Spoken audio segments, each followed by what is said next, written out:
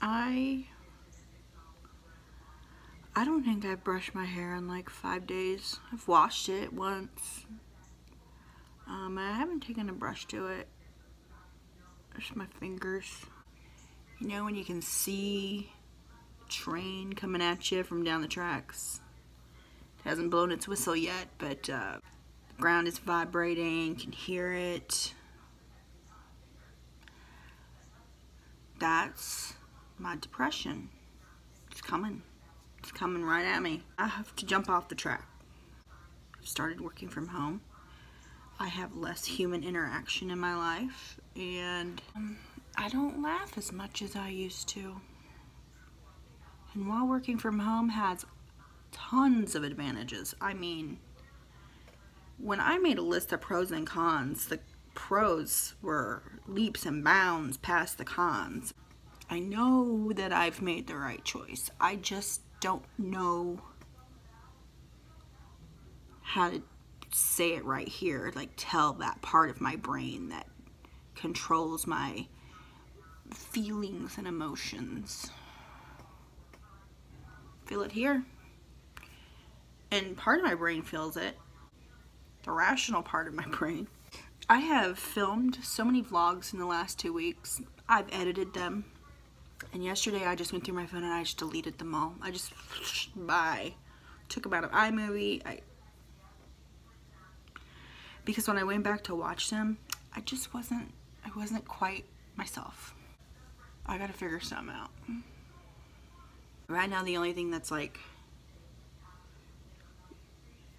sort of keeping me from wanting to stand in front of that train that's coming my birds.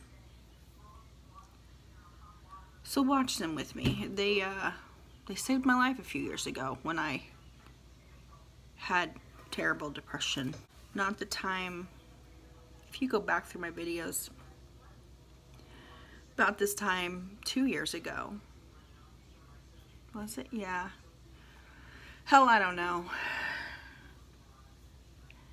Um, you know, I finally grew some nuts and went to the doctor and said I'm depressed and uh, she put me on some stuff and I hated it and so I went off of it and uh, that's the long and short of it. Um, I don't want to go on anything. I don't. That scares me. And a couple of years before that, I don't even know what was happening. I I do. I just can't talk about it. Um, here. I don't haven't grown those nuts yet. But it was sitting in my dining room and watching the birds and I gained perspective on a lot of things. I quit going to the church that I belong to and I made some right choices for me and my family. I got right. I got right in that part of my brain that is about to go wrong because of the birds. Um, I had like four cardinal couples. I named them all Little Famous TV, Wilma and Fred, and Barney and Betty, and Dan and Roseanne, and Carol and Mike. In the last couple weeks, out of my back window, out of the window in front of my computer, I've seen Orioles. I've seen the fattest, most beautiful robins. I mean, work it, girl. Cardinals. For the first time in my life, I've seen a purple finch. Did I mention the Orioles? I haven't had Orioles ever. And hummingbird. Train's coming. And I need to jump off the track or convince it to stop and go back to the station.